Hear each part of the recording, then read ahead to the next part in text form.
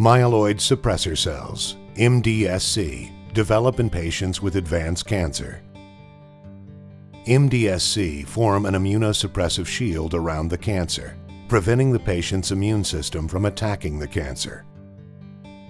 INB03, INmune Bio's innate immune system checkpoint inhibitor, overcomes MDSC immunosuppression in a three-step process that causes the immunosuppressive shield to disappear and allows the patient's immune system to attack the cancer.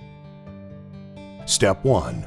INB03 decreases proliferation of MDSC and prevents MDSC from secreting immunosuppressive cytokines.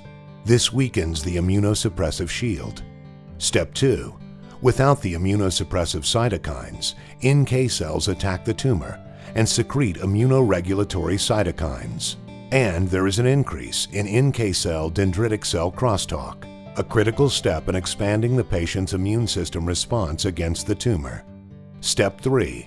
The NK and dendritic cells secrete immunoregulatory cytokines, including interferon gamma, to recruit the adaptive immune system to the battle with increased CD4 positive and CD8 positive cytotoxic T cells that attack the tumor. In preclinical studies, animals treated with INB03 had fewer and smaller tumors. This resulted in improved survival. We will be starting studies in patients with advanced cancer soon.